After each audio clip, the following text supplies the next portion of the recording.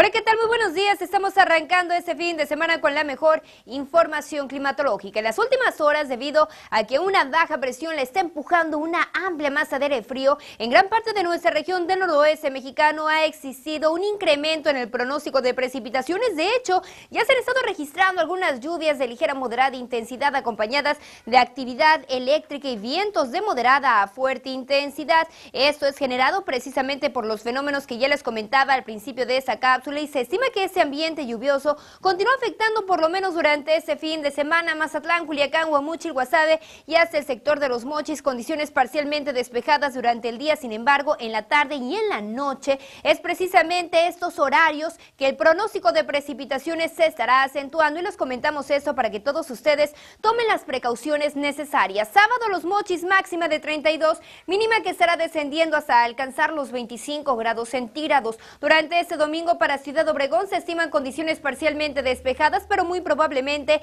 estemos arrancando la próxima semana sobre Hermosillo, la capital del estado de Sonora, con una condición mayormente nublada. De hecho, debido precisamente a estos fenómenos, se han estado registrando también algunas granizadas en diferentes sectores, tanto de Sonora como en el estado de Sinaloa. Así que, señores, estaremos muy al pendiente de estos fenómenos, ya que también están afectando con lluvias muy importantes a la mesa del norte, al noreste, al oriente, al centro además del Pacífico Occidental. Hasta esta mañana en gran parte de todo nuestro estado predominan condiciones de parcialmente soleadas a mayormente nubladas. Existe incremento en la capa nubosa, principalmente en la zona centro y sur de todo Sinaloa, mientras el termómetro del estado de Sonora la temperatura va oscilando desde los 21 hasta alcanzar los 24 grados centígrados. Condiciones bastante soleadas están predominando en esta mañana para el estado de Sonora. La Paz, una temperatura de hasta 22 grados centígrados, condiciones variantes de parcialmente soleadas a mayormente nubladas y el termómetro de Villahermosa, Tabasco apenas sobrepasa los 22 grados centígrados.